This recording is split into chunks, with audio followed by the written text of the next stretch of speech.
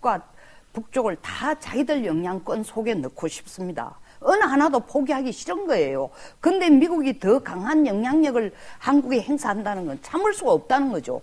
나는 이것은 과거 자기들의 그 청나라 시대 때까지의 사고방식을 지금도 그대로 어디 감히 저는 정말 열받는 게 20년 전에 11억 거짓 떼서리들이 어디 이렇게 겁도 없이 지금 우리 한국에 네, 그것은 좀 외교적으로 문제가 있을 수 있는 발언인 것 아니 같습니다. 정말 네. 20년 후에 지금 경제 성장이 됐다고 해서 한국을 정말 자기들에게 있어가지고 상대도 안 되는 국가로 생각하고 내정 간섭까지 하면서 이래라 저래라.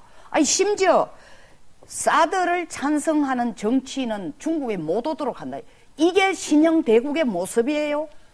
제가 볼 때는 네, 이건 네, 너무 네. 쪼잔한 거예요. 지금 우리 저송 의원님이 중국의 최근에 이제 그 행태